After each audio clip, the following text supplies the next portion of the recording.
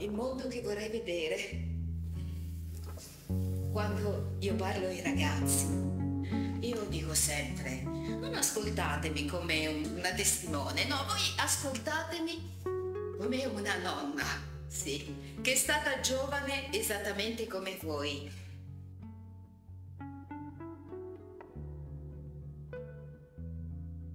Sulle ginocchia avevi la scatola in cui la nonna conservava le nostre foto di famiglia e cominciato ad agitarla, agitarla, agitarla. Tacca, tacca, tacca, tacca, tacca, tacca.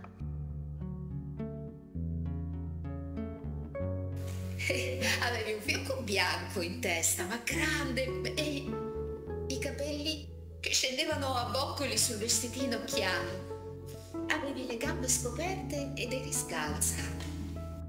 Ma io dove ti avevo messo tutti questi anni? Ma, ma dove ti avevo tenuta nascosta?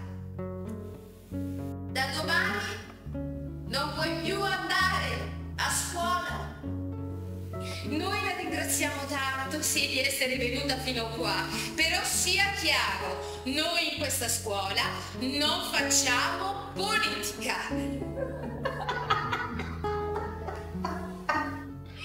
Io potrei fare un inventario di tutte le cose che sono accadute, ma anche con quelle belle, anche con quelle cose che sono arrivate così, di sorpresa, di punto in bianco.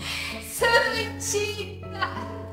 Ma dentro mi porto sempre quella bambina a cui un giorno la scuola ha chiuso le porte. E adesso lei